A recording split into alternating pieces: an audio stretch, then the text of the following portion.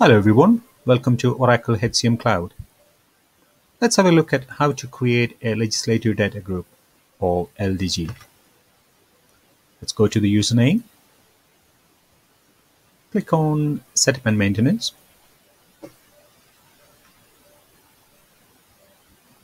To make it quick, uh, we'll do the search just here. So we're going to search for manage legislative data groups.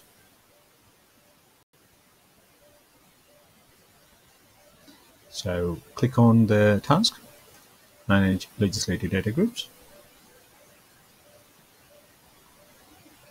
And go with the create.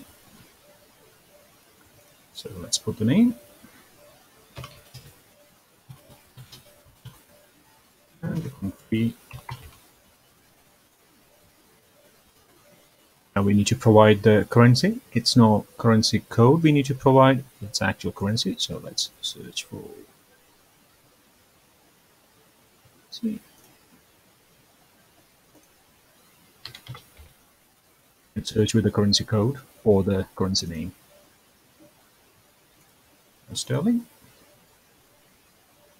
Um, cost allocation structure. This this data will be provided by the financial guy, so we could uh, leave it for now click submit.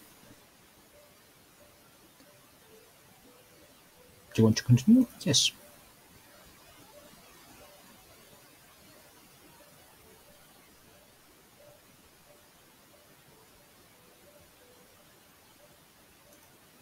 That's it. Job done.